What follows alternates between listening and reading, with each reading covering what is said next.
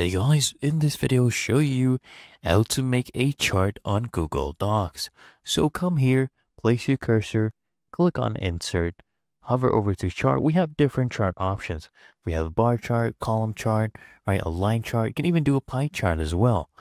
Let's do, for example, a column chart, okay? And you can insert one from your spreadsheet as well.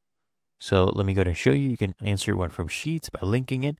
This one is also linked. So if I come here to click on these three dots, we can open the source and make edits to this.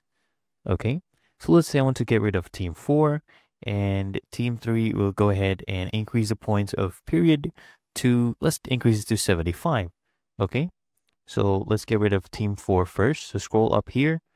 I can click on this, you know, row right here, right click, and we can go ahead and click on delete row and for team three, period two, we're going to set it to 75. So check out this difference, okay? Make it 75. Of course, you can customize the text. Everything here is customizable. There we go. This one has increased 75. If I come back here, okay, this one will also update once I click on this, okay? There we go. As you can see right here, you can edit everything here, right? And it's really that easy and Simple.